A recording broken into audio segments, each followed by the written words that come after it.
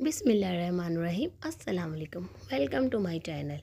मैं हूँ chef Ruby. आज मैं आपके साथ कश्मीरी ग्रीन टी की रेसिपी शेयर करूँगी, जो बहुत ही डिलीशियस, अमेजिंग बनकर तैयार होती है। चले ये बनाना स्टार्ट करते हैं।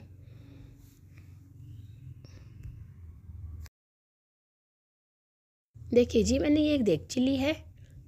इसमें मैं ऐड करूँगी वाटर। तीन कप मैंने इसमें पानी ऐड किया है। अब मैं इसमें ग्रीन टी ऐड करूँगी। थ्री टेबल स्पून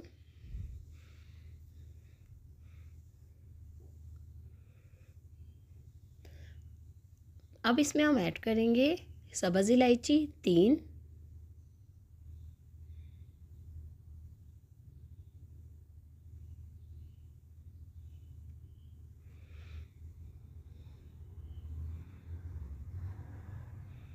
अब इसे अच्छे तरीके से ना हमने फेंटना है चाय को।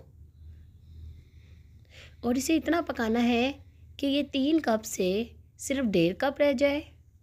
और जब ये डेढ़ कप रह गई थी, देखिए मैंने इसमें चिल्ड वाटर ऐड किया है दो कप।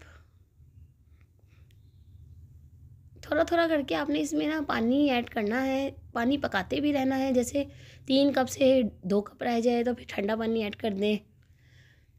अब देखें, सिर्फ़ ये दो कप पानी बचा था, मैंने इसके अंदर फिर ऐड कर दिया एक कप पानी। ये बिल्कुल कोल्ड होना चाहिए।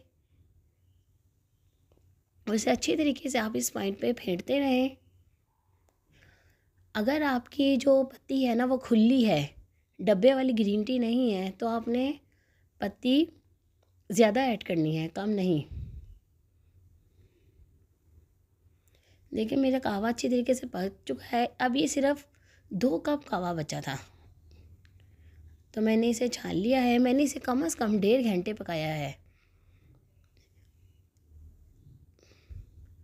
अब मैं दो लीटर दूध ऐड करूँगी इसमें। और ये दूध मैंने इतना पकाना है कि दो लीटर से ये डेढ़ लीटर रह जाए।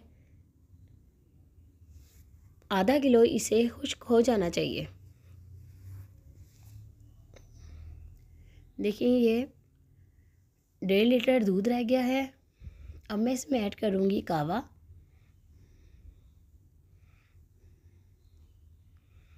कावा इसमें आपने ना सारा ऐड कर देना है। जो दो कप कावा हमारा बना था, ये हम इस पॉइंट पे सारा ऐड कर देंगे।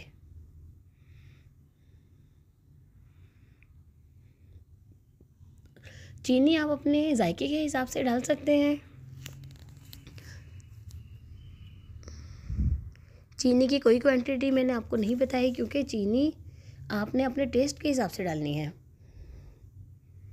अब आप इस पॉइंट पे ऐड करें मेवा। ड्राई फ्रूट भी आप अपने जायके के हिसाब से ले सकते हैं, कम या ज़्यादा।